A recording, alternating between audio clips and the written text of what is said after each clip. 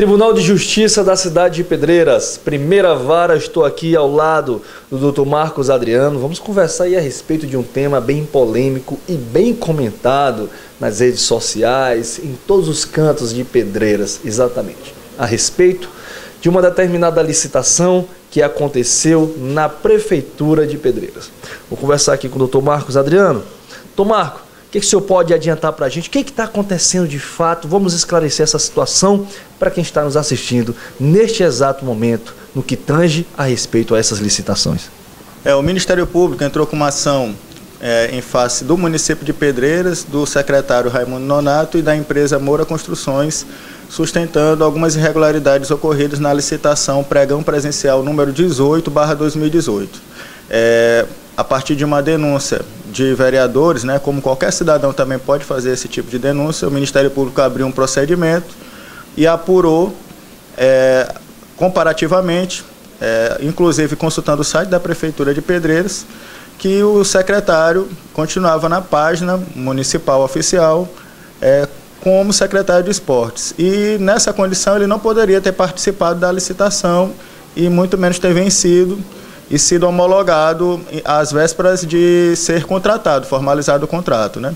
Então, na terça-feira, o Ministério Público entrou com a ação e na quarta-feira pela manhã nós proferimos uma decisão em que consultamos inclusive o site da prefeitura, que eu gosto de registrar que é um site bastante transparente, ele cumpre o princípio da publicidade, é um portal em que estão todas as licitações você pode consultar toda e qualquer licitação realizada pelo município de Pedreiras no ano de 2018, todos os diários oficiais, e identificamos que o site da Secretaria de Esportes estava fora do ar, o link desse site. Doutor, desculpa interromper, mas era o único link que estava fora do ar, os demais estavam funcionando? Todos os demais estavam acessíveis, tanto que nós incluímos, no, na, ao fazer a decisão, nós consultamos o edital da licitação, que está disponível no site da Prefeitura, e também consultamos o diário oficial em que houve a homologação deste certame.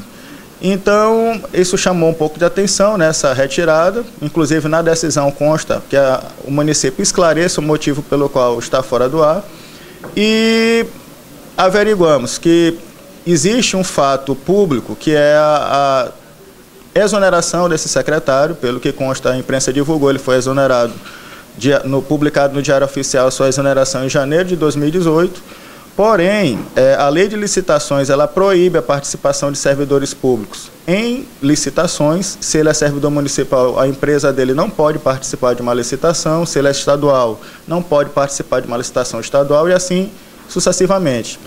E o edital previa isso também, e tem uma peculiaridade: a cidade de Pedreiras é regida, a lei máxima do município é a lei orgânica municipal. Eu fiz a consulta identifiquei que na lei orgânica, o artigo 91, ele proíbe a participação de prefeito, vice-prefeito, vereadores, servidores e os seus parentes até o segundo grau, é uma espécie de proibição de nepotismo, né?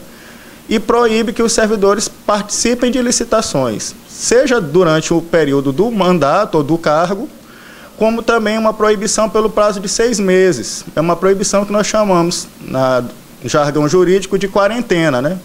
Então, ele não poderia ter participado dessa licitação, já que ele foi exonerado em janeiro. Olha só, é, voltando aqui, vou pedir até para o câmera dar um close, para você que está assistindo a matéria, começou a assistir neste exato momento.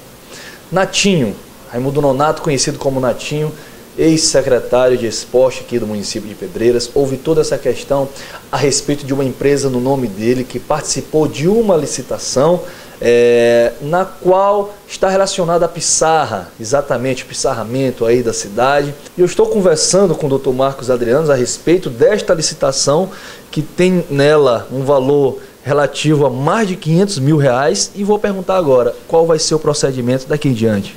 Certo. Ah, o questionamento do Ministério Público é uma ação é, diferenciada, que foi uma criação pelo novo CPC de 2015.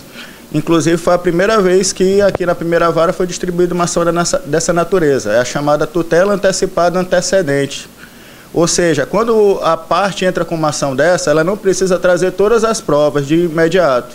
Ela apresenta indícios, pede uma providência judicial, no caso o Ministério Público pediu a suspensão do contrato, se tiver sido celebrado, ou a suspensão da assinatura desse contrato e os eventuais pagamentos dele decorrentes. Então, foi acolhido esse pedido do Ministério Público. Agora, o cabe ao Ministério Público dar continuidade à investigação. É, ele vai ter um prazo de 60 dias para concluir o procedimento, trazer as novas provas e aí sim oportunizar ao município de Pedreiras e aos demais réus a apresentação da contestação. Se o, o Ministério Público prosseguir na investigação e concluir que não há nenhuma irregularidade, aí o Ministério Público certamente vai pedir o arquivamento do processo e a licitação será liberada. Mas se o Ministério Público entender que há alguma irregularidade, certamente ele vai pedir outras providências que aí cabe ao Ministério Público esclarecer quais serão elas. Pois bem, ninguém melhor do que o Dr. Marcos Adriano para falar a respeito dessa situação, um caso polêmico que é, foi debatido nas redes sociais, em toda a sociedade pedreirense. Então tá aí. Pessoa que entende do assunto está à frente dele e agora você ficou bem informado da forma correta.